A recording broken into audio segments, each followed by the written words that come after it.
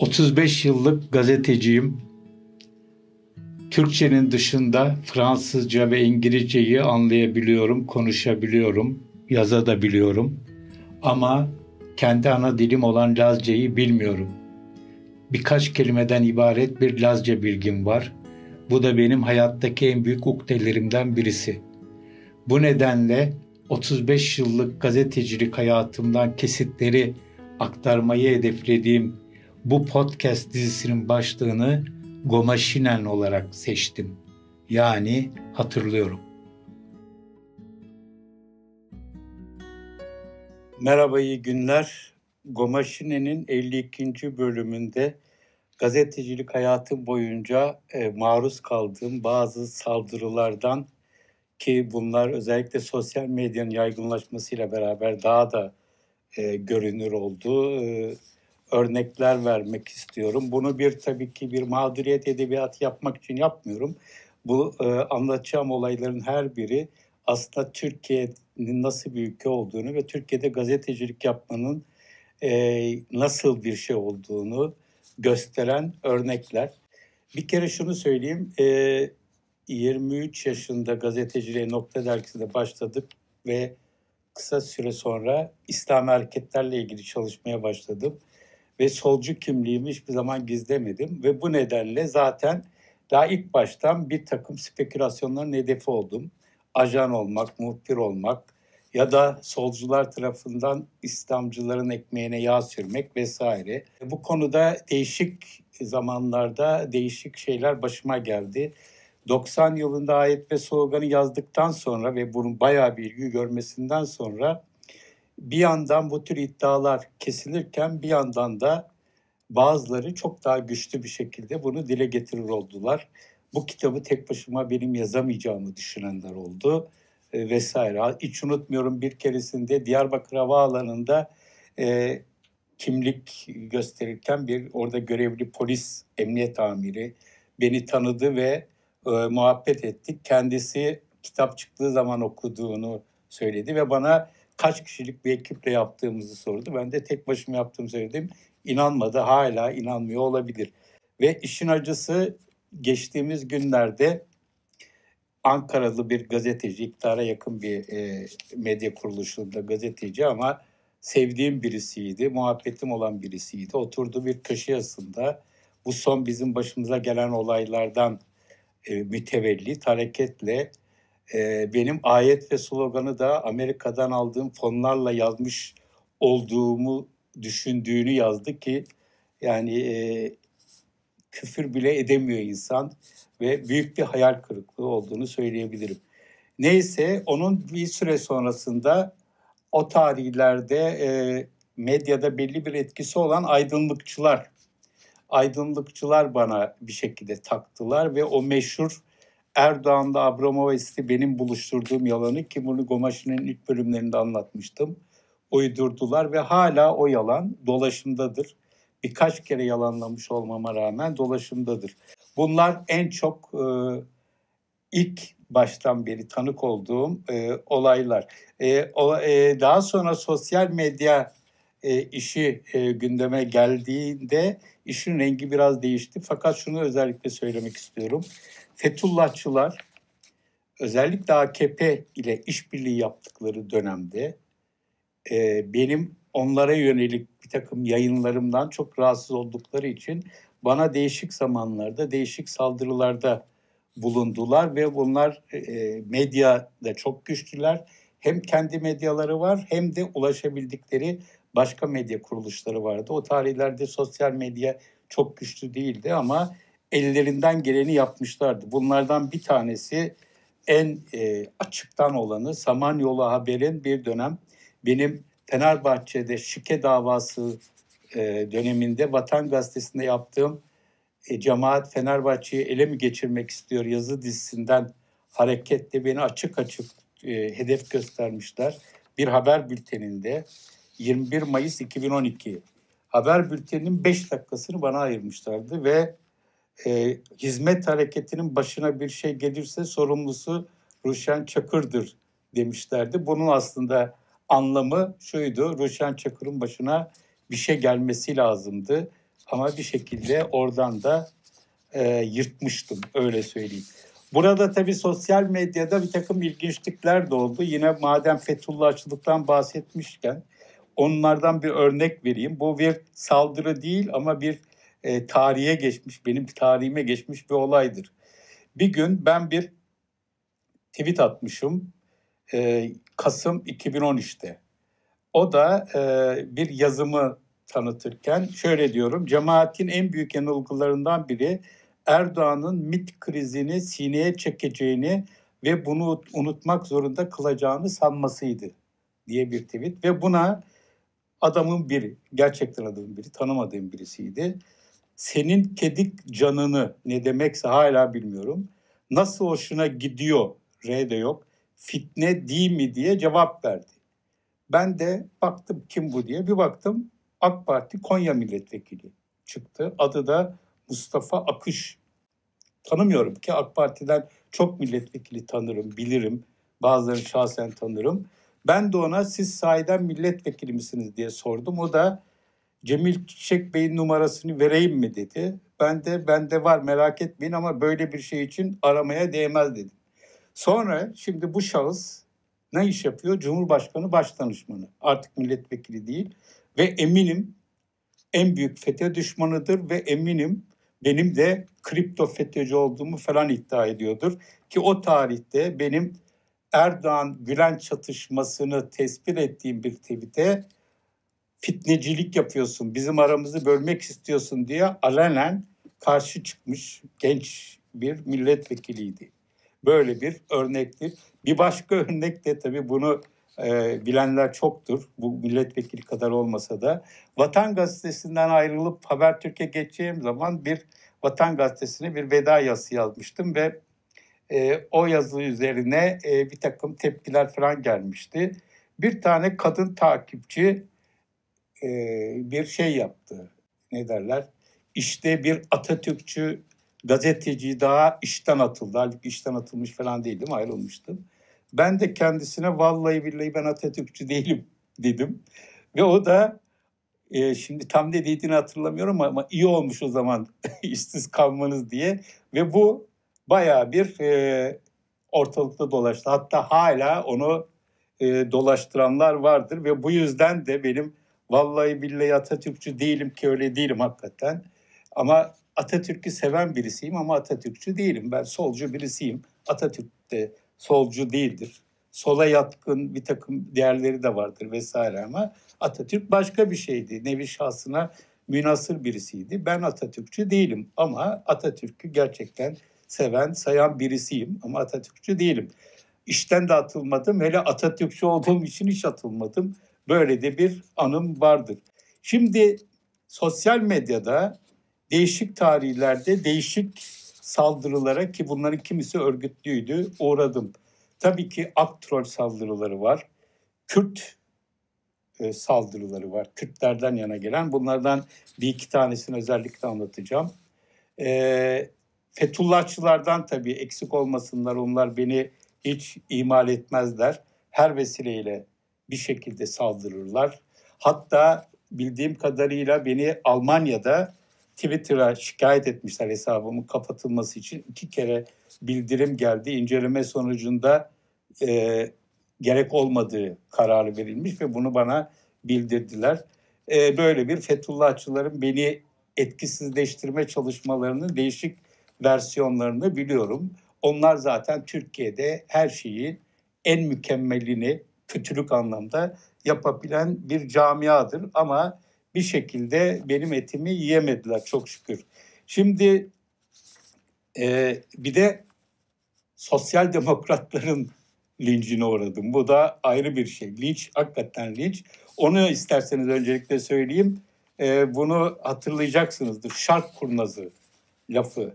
Şimdi bu ne oluyor? Haziran 2015 seçimlerinin ardından ben Habertürk'te 12 Haziran 2015'te bir yazı yazmışım. Diyorum ki e, AKP CHP koalisyonu daha güçlü bir ihtimal diyorum ama o da olmadı.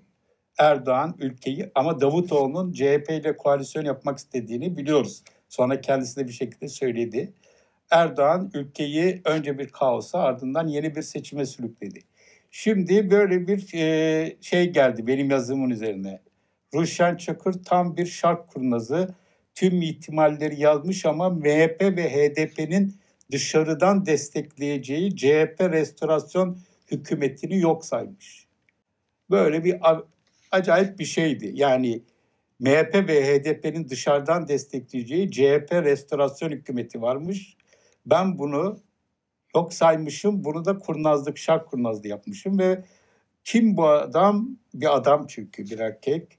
E, adını hatırlamıyorum. İlginç bir şekilde tabii benim en büyük sevenim olan Oda TV bunu Türkiye bu sözü konuşuyor. Ruşen Çakır tam bir şark kurnazı diye haberleştirmiş. Şimdi tekrar baktım. Ben tabii ki varım ama o kişinin ismini silmişler nedense. Adının kim olduğunu bilmiyorum ama Kıbrıs'ta bir alakası vardı ve bir akademik bir yönü vardı galiba. Ben bunu engelledim ki ben e, sosyal medyada engellemesiyle meşhur birisiyim. Engelledim, hoşuma gitmedi. Bu bir eleştiri falan değil. Şark kurnazı lafını o bir eleştiri olarak alıyorsa alabilir ama bence bir hakaretti. Engelledim. Belki de yanlış yaptığını bilmiyorum. Bunun üzerine bu arkadaş vay ben böyle dedim beni engelledi diye bir şey yaptı ve ondan sonra yüzlerce yani yalan söylemiyorum yüzlerce kişi gelip bana şark kurnazı şark kurnazı tabii Oda TV yazınca Oda TV yazınca biliyorsunuz çok şey oluyor. En son başımıza getirilmek istenenler de Oda TV'nin e, olaya müdahil olmasıyla gelişti ve hakkımızda peş peşe hepsi yalan olan çok şey yazdılar. Neyse e, Allah'a havale edelim. Burada hatta öyle oldu ki bazı insanlar beni de engelle, beni de engelle diye ve ben de üşenmedim. Kolum yoruldu hakikaten ama yüzlerce kişiyi engelledim. Hatta arada sırada şimdi bazı bunların çoğu gençler. Ee, bazıları bana tanıdıklar aracıyla haber yolluyor. Ya ben de o çark kurnazı şeyine kapılmıştım ama kendisini takip etmek istiyorum falan deyip özür dileyenler oluyor. Onları e, iptal ediyorum. E, bu da bir e, yaşadığım ilginç bir olaydır, e, bir garip bir olaydır. Restorasyon hükümetini ihtimalini saymadığım için başıma böyle bir şey geldi ve bu kesimin böyle örgütlenebileceği hiç aklıma gelmezdi. Bir eğlence sandılar herhalde ve de hakikaten benim yorulacağımı sandılar ama hakikaten de yorulmadım onu söyleyeyim. Şimdi iki tane ayrı olay var aslında e, birbirine yakın olaylar. Birisi T24'te yapılan bir röportaj, Emine Ayna ile yapılan bir röportaj. Bu hep önüme çıkartılır, edilir. Emine Ayna siyaseti bırak siyaseti bıraktığını söylüyor ve e, orada konuşurken benle ilgili bir olay anlatıyor. İstanbul'da bir panele katıldık onun siyaseten AKP ile hangi noktalarda buluştuklarını ifade ettim. Beni kastediyor. Aradan zaman geçti. Ruşen Çakır pat diye meclis koridorunda karşıma çıktı. Sen nasıl o panelde beni bu hale getirirsin diye duvara sıkıştırdı. Yakamdan tuttu. Bir erkeğe bunu yapamazdı diyor. Açıklaması oldu mu bu konuda diye soruluyor. Hazal Özvarış yapmış röportajı. Hayır o kendini haklı görüyor demiş. Şimdi bunun üzerinden bayağı bir hakaret, küfür vesaire edip. Şimdi düşünüyorum Emine Ayna'yı ben meclis koridorunda sıkıştırmış, duvara yaslamış, boğazını sıkmışım ki o zaman kendisi hangi partinin, partilerin adları sürekli değiştiği için DTP, Demokratik Toplum Partisi'nin genel başkan yardımcısı ve Mardin milletvekili. Yani böyle bir şey kendisiyle tartıştığımızı hatırlıyorum. Ama boğazını sıktım falan böyle bir şey yok. Bir de tabii şöyle bir şey var. Olayın aslı İstanbul'da bir panele katılmadık.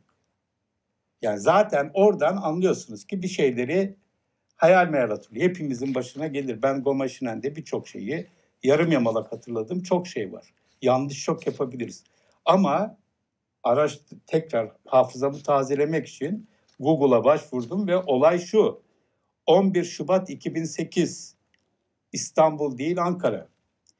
Ve Türkiye Barış Meclisi'nin e, TUMOB'un İnşaat Mühendisleri Odası toplantı salonunda yapılan yeni anayasa sürecinde Türkiye'de demokrasi ve Kürt sorunu başlıklı sempozyumu.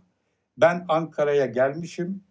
o sempozyuma katılmışım. Beni çağırmalarının nedeni de ben o günlerde Vatan Gazetesi'nde ısrarlı bir şekilde PKK'nın kayıtsız şartsız silah bırakması gerektiğini yazıyorum ve beni çağırdılar. Çağıranlara dedim ki arkadaşlar yapmayın beni orada çiğ çiğ yerler. Ben bunları tekrar söylerim. Onun için çağırıyoruz dediler. Ve bir panele çıktım. Orada Emine Ayna yoktu. Emine Ayna önde oturuyordu. Dinleyiciler arasındaydı. Ve panelde birkaç kişi daha vardı. Şöyle bir uygulama vardı. Sorular sözlü sorulmuyor, yazılı sorular geliyor. Ve ben orada o şeyleri söyledikten sonra onlarca hatta bir müddet saklamıştım onları evde. Hala bir yerlerden çıkabilir. Onlarca soru geldi ve bunların büyük bir kısmı da sen nasıl böyle dersin, sen bu işte bir şeydir, devlete güvenilmez vesaire falan neyse. Ve ondan sonra da o soruların bir kısmına cevap verdim ve aşağı indikten sonra da çok sayıda kişi eleştirisini ya da takdirini söyledi. Organizasyonu yapan arkadaşlara da söylemiştim. Benim uçağım vardı ve gittim. Bir müddet kalıp sonra gittim. Emin Ayna ile aramızda tek bir kelime geçmedi. Sonra ben Ankara'da Esenboğa Havalimanı'nın cip salonunda uçağımı beklerken bir toplantıdan bir arkadaş aradı. İzleyen, orada kalan. Ya dedi sen gittin sonra Emin Ayna çıktı sana acayip saydırdı maydırdı. Yani böyle bir olay. Bu olayın ardından ya çok can sıkıcı bir olay. Ben oradayken bana hiçbir şey söylemedi, bilmem ne yapmadı ve ben yokken arkamdan bunları söyledi. Ben de buna e, tepkimi bir şekilde kendisine ifade etmiş olmalıyım. Detaylarını hatırlamıyorum ama boğazına yapışma vesaire falan gibi bir olay kesinlikle olmadı. O neyi nasıl yaptıysa, e, nasıl yorumladıysa Ankara'yı İstanbul yaptıktan sonra başka şeyleri de yapmış olabilir ve bu benim çok üzdü. Çok canımı sıktı.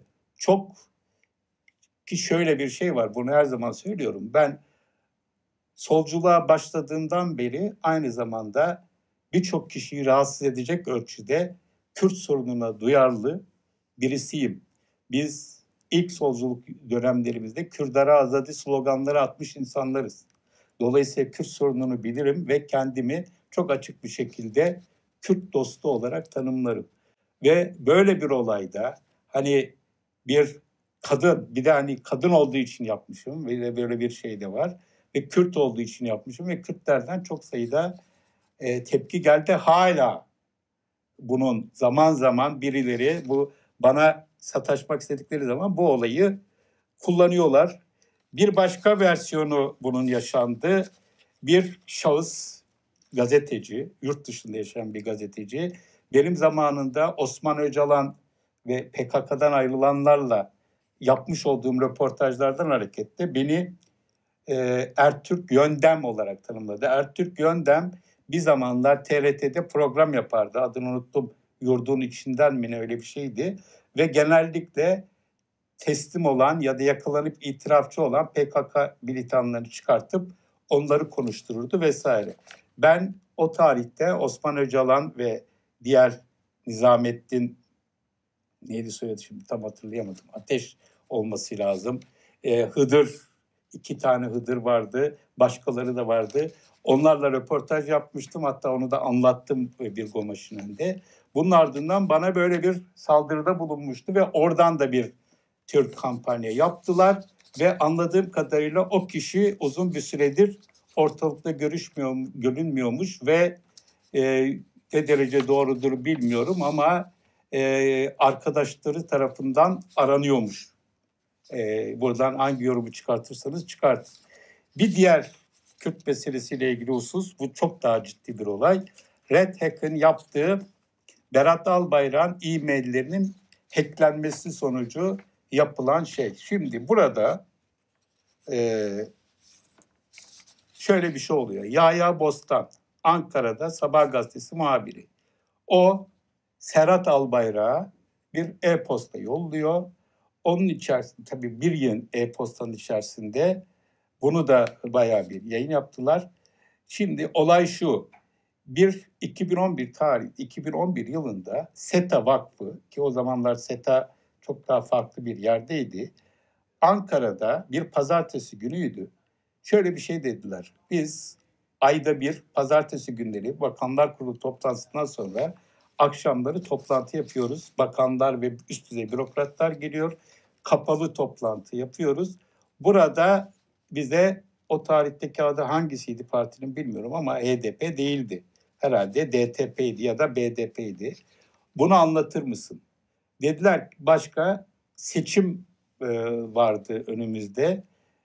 Etyen Mahçupyan CHP'yi anlatacak. Mümtazer Türkken'e MHP'yi anlatacak. Ben de HDP ya da o tarihteki adı neyse onu anlatacağım. Bir otelde e, toplanıldı, sunumlar yapıldı. Yani bir yıl Ahmet Davutoğlu Dışişleri Bakanı o geldi, Beşir Atalay, Sadullah Ergin bayağı bir insan vardı. Yani böyle bir e, 20-30 kişi vardı. E, bir takım bürokratlar da vardı. Ve bunlarla böyle bir sorulu cevaplı bayağı bir şey oldu.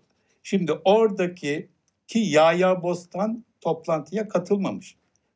O çağrılı değil. Ama toplantıya katılanlardan birisinden bilgi alıp o bilgiyi de Serhat Albayrak'a rapor ediyor nedense. Ki Yaya'yı da tanırım ve her seferinde de kendisine beni yaktın derim. Orada şöyle bir şey var. Ben e, diyorum ki Kürtler arasında şehirden şehire farklılıklar var. Bu farklılıklar iyi analiz edilmesi lazım. Ee, burada kastım bu Serrat dedikleri, Ahmet dedikleri işte farklı farklı bölgeler var. Botan dedikleri bölgeler var ve buraların hepsinde gerek PKK'nın gerekse siyasi partinin ayrı ayrı özellikleri var. Kimisinde çok güçlü. O tarihte çok bariz fark vardı. Ama daha sonra özellikle Serhat denen Ağrı, Kars gibi, Ardahan gibi yerlerde de çok güçlendi. Bunu biliyoruz. Ben bunu gayet sakin bir şekilde anlattım. Buraya parantez içinde böl ve yönet demiş. Benim ettiğim bir laf değil. Ve bu şey diye dolaşıma girdi. Ruşen Çakır AKP'lilere gizli toplantıda e, işte Kürtleri böl ve yönet demişim. Bunun üzerine çok ciddi bir kampanya oldu. Hala yer yer var. Ben bunun üzerine bir e, açıklama yaptım. Medyaskop tarihte vardı. Çünkü bu olayın yaşanışı 2016 olması lazım. E, o kadar çok var ki notlarıma şimdi bakıyorum. E, 2016, evet 29 Eylül 2016. Ondan sonra bir buna isteyen bulabilir. Benden Kürt düşmanı çıkarmak mümkün değil diye bir açıklama burada uzun uzun anlattım. Olayın böyle olmadığını, böyle bir şey dememin söz konusu olmadığını vesaire. Ama bunu bayağı bir insan, herkes kullandı. Tabii ki öncelikle Kürt hareketiyle irtibatlı bir takım insanlar kullandı. Çok küfür ve tehdit aldım. Tabii bunu fırsat olarak gören e, Fethullahçılar kullandı ve başkaları da çok ciddi bir şekilde kullandı. Ve e, bu her iki olayda da Emine Ayna ve bu Red olayında da beni çok yakından tanıyan, bilen e, kişiler, HDP'liler, yöneticileri, üst düzey isimleri falan hiçbirisi de açıktan ya arkadaşlar sakin olun falan demediler. Bu da işin bir ilginç bir e, yönü olarak en azından benim tarafından kayda geçirildi. Ama beni çok üzdü. Özellikle Red kısmı çok üzdü ve o yaptığım açıklamanın sonunda şöyle bir şey söyledim. Ee, bir de ilgilisine notum var. Mesajınızı aldım. Cevabım şu. Dün olduğu gibi bugün de beni teslim alamayacaksınız. Bunu insanlar acaba ne demek istiyor dedi. Çok açık. Ne demek istediğimi anlayan anladı. Çünkü bu Redtech bilmem ne olayı bir Fethullahçılık operasyonuydu. Nasıl yaptıklarını bilmiyorum. Bir takım tahminlerim var. Birçok yere olduğu gibi o çevreye de bir şekilde sızmış olduklarını tahmin ediyorum. Nitekim bir süre sonra Redtech adına birileri benden özür diledi. E, bunu da özellikle söyleyeyim. Nasıl özür diledi? Sosyal medyadan. E, biz sizi tanıyoruz. Bu şeyden dolayı e, çok rahatsızız. Kusura bakmayın gibi bir şey geldi. Ben de çok da fazla üzerine gitmedim. Onu da bir not olarak düşeyim. En son olarak bir AK Parti, AK Parti de değil aslında. Hepsi birden. Ama özellikle AKP, Yeni Şafak, A Haber, Aydınlık, şu bu hepsi beraber Olay şu. Ee, seçim olmuş. 31 Mart seçimleri olmuş. Ee, CHP kazanmış İstanbul'u ve seçim tekrarlandırılıyor. Ben o sırada Washington'da e, yım bir toplantıya gitmiştim. Tam Washington'da bir toplantı sırasında haber gelmişti vesaire. Sonra Washington'dan döner dönmez o tarihte stüdyomuz Sanayi Mahallesi'ndeydi biliyorsunuz. Uçaktan inip taksiye binip doğrudan stüdyoya gelip yayın yapmıştım. Yani yenilenen seçim üzerine 9 Mayıs 2019. Çok yorgunum. Washington'dan geliyorum. Bayağı bir yol. Jet lag var mıydı emin değilim ama yorgundum. Çantalarımı bir kenara koydum. Bir şeyler içtim, birazcık dinlendim ve yaklaşık 15-20 dakika içinde yayına oturdum. Şimdi o yayında ben bir yerinde 23 Haziran'da seçim olacak ve diyorum ki bunu kesinlikle tekrar Ekrem İmamoğlu alacak. 23 Haziran'da çıkacak sonuç etrafında yeni Türkiye'nin nasıl bir tempoyla bir laf ediyorum ve sonra toparlıyorum. Nasıl bir tempoyla hayata geçeceğini göreceğiz demişim. Şimdi bu laf işgal demişim ama son anda uyanmışım ve lafımı değiştirmişim. Neden böyle bir şey dedim? İşgal demediğimi biliyorum. Belki iştigal falan gibi bir şey demek istedim. Ve birden e, şöyle bir başlık neydi? Ruşen Çakır 23 Haziran'dan sonra işgal hızlanacak. Bunu ilk hangisi yaptı çok emin değilim. Ama galiba e, şey yaptı, Yeni Şafak yaptı. Sonuçta artık bir anlamı yok. Hepsi birden, hepsi birden böyle bir yağdırdılar.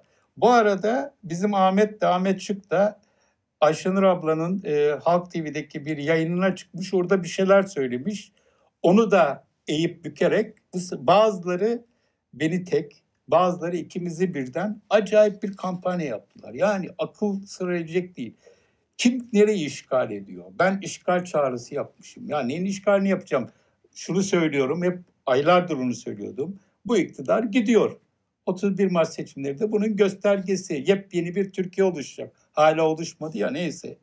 Bunları söylüyorum ve buradan hareketle bir işgal muhabbetidir gidiyor ve bu da da ama bu e, diğerleri kadar açıkçası can sıkıcı olmadı.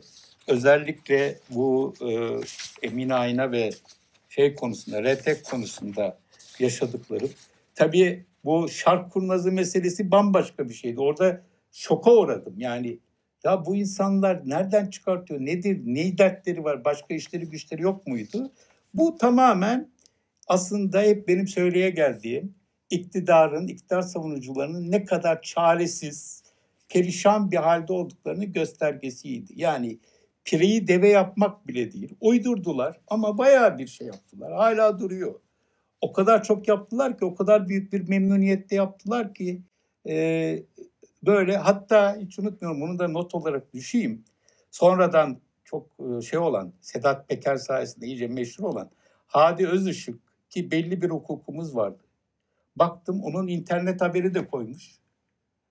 Dedim ki ya ne yapıyorsunuz siz böyle falan bilmem ne ayıp değil mi falan. Bana bu sefer ot sot etti falan. Ondan sonra e, bayağı bir şey olduk. Bereket. O hukukun orada bitmesi gerekiyormuş. Tam böyle bir şey. Bu olaylar şöyle. Birisi birisinin düştüğünü gördüğü anda herkes bir tekme kapıyor. Konuyla alakası olan olmayan herkes bir tekme kapıyor. Ama sonuçta e, şöyle bir husus var. Sosyal medya benim gibi gazetecilerin mecbur olduğu bir şey. Aslında iyi bir şey değil. Onu özellikle söyleyeyim. Hatta ben ilk Twitter'a girdiğimde bunalıp çıkmıştım. Sonra mecburen döndüm. Çünkü Medyaskop'ta yaptığımız işleri vesaire duyurmanın, etmenin başka bir yolu yoktu. Ama gerçekten insan diyor ki bir yerden sonra ya bu işleri bırakıp bir an önce e, kurtulalım. En son başımıza gelen her koldan yani Sol Haber, TKP'nin yayın organı, Oda TV, Aydınlık, işte her türlü iktidar medyası vesaire bu fon meselesi üzerinden koparttıkları. Bu arada tabii şunu da söyleyeyim. Benim Sayit Nursi üzerine söylediğim ve hala savunduğum, onu sevdiğim hakkında. Yani onu söylüyorum. Said Nursi gerçekten Türkiye çok önemli bir e, düşünürü ve eylem adamı. Az sayıda var böyle insan. E, çok değişik bir insan.